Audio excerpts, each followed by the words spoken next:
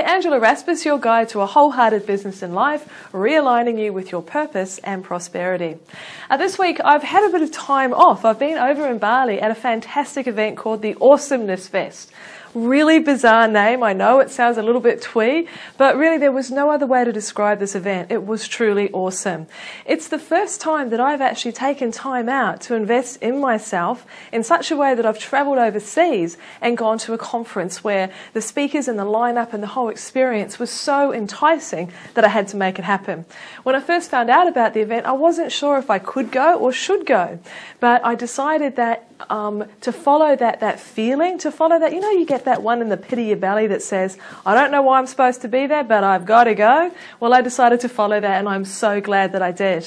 The speaker lineup was incredible. Um, I write about some of this below this uh, video in the blog post. In particular, there was a woman called Lisa Nichols, who's a larger than life African American speaker who blew the room away. Now, Lisa's story of where she came from and where she got to when she realigned herself and really moved into purpose, decided to let go of all the shoulds and make a decision to be the best that she possibly could be, will just take your breath away. She was a single mum finding it really hard to even raise the, the money to feed her son, as the father of her boy was just sentenced to 54 years in prison. But that day when that happened, Lisa told us the story that she made the decision that she was not going to stay where she was in her life and her business. She was going to move forward into that purpose that she absolutely believed she was put on this planet to do. Fast forward 13 years later, she shares the stage with people like Anthony Robbins and Jack Canfield. She's a best selling author. She's been on The Secret, on Oprah Winfrey. Uh, she has a company called Motivating the Masses, which is about to go public with an estimated value of $40 million. You can understand why seeing this person in the flesh and listening to her story and hearing the way that she approached her business and life was so incredibly inspiring. And she was only the first speaker. The next three days were filled up to the brim with people like that, with different sorts of insights to share and skills to teach us that we wanted to bring back into our everyday life. But you know what happens when you've been to a conference or a seminar and then you come back to real life? Well, this time last week, I was sitting beside the pool in Bali with, very fortunately for me, my um, mastermind buddy. We were processing everything we'd been through and making our plans. This week, what am I back to? Lunchboxes, washing, homework, invoices, all that sort of stuff. A little bit difficult to maintain that feeling. But what I've found is that there are some very specific steps that you can take that keep you in that place of inspiration and motivation so that you can make the most of the experience that you've had. And I'd like to share those with you today.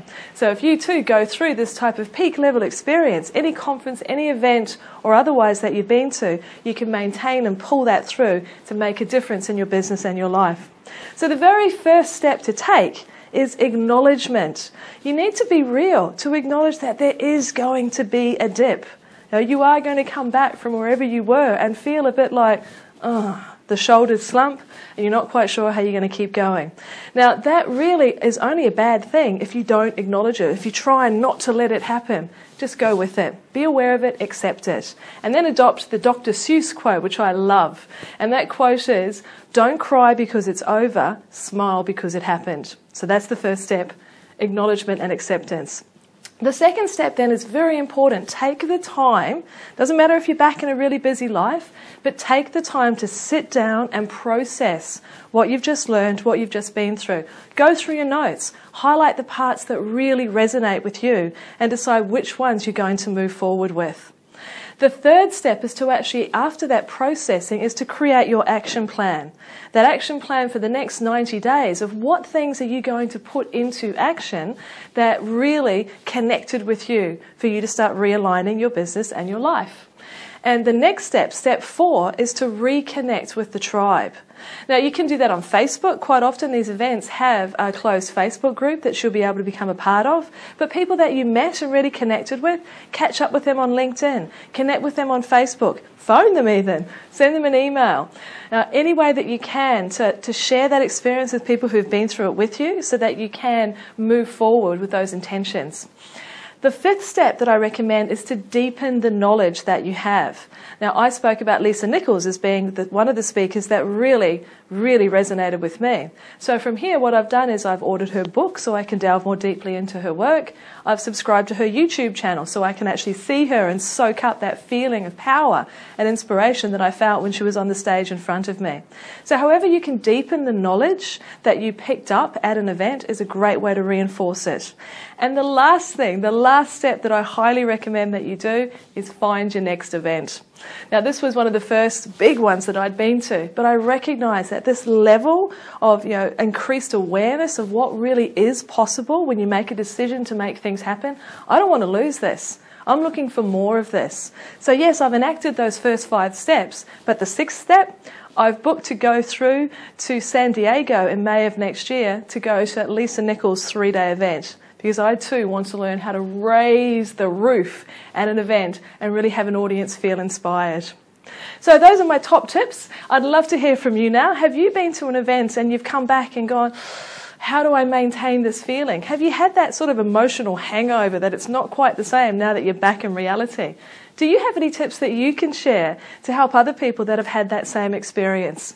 Really like to hear from you. Appreciate those thoughts and feedback and look forward to talking to you again soon.